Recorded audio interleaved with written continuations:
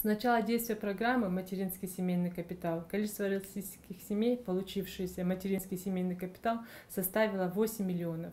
56% семей уже полностью распорядились его средствами.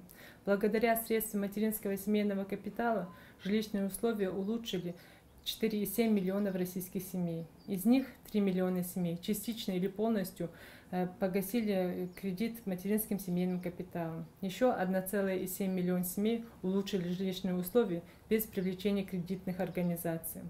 Улучшение жилищных условий – самым основным популярным направлением расходования материнским семейным капиталом. Почти 92% заявлений. Помимо этого, Пенсионный фонд Российской Федерации принял 410 тысяч заявок на обучение детей. Это 3,5 тысяч заявлений.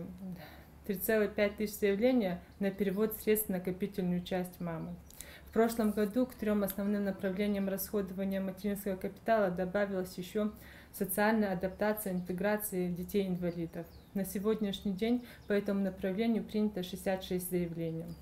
Размер материнского капитала в 2017 году составил 453 тысячи 26 рублей. Напоминаем, что для получения материнского капитала необходимо, чтобы ребенок, который дает право на сертификат, родился или был установлен до 31 декабря 2018 года. При этом, как и ранее, само получение расходование, и расходование его временем не ограничено.